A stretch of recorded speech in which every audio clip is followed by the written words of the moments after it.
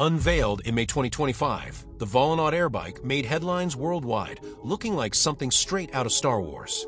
Created by Tomasz Patan, best known for the Jetson One, this jet-powered marvel redefines personal flight with a radical, stripped-down design. No wings, no propellers, just raw, jet fuel performance. The Airbike's latest test flight footage shows it soaring above deserts, darting through forests, and hovering midair, all unedited and real. Patan emphasizes, no AI, no effects, what you see is exactly what happened.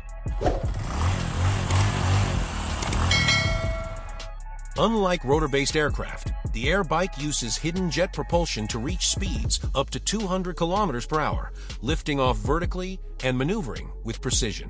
Its flight computer responds instantly to rider input, acting like a natural extension of the body.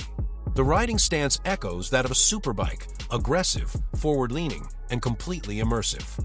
There's no cockpit, no seat back, no display, just a telemetry-equipped helmet and a carbon fiber frame. At seven times lighter than a motorcycle, it's built from 3D printed and aerospace-grade materials. At night, red LEDs along the struts give it a futuristic glow, turning heads even before it takes off. Designed for adrenaline junkies, the Airbike blends jet power with cutting-edge stabilization, allowing it to hover, turn tightly, and fly in narrow spaces. It's one of the boldest leaps in personal aviation yet, but it's not without controversy.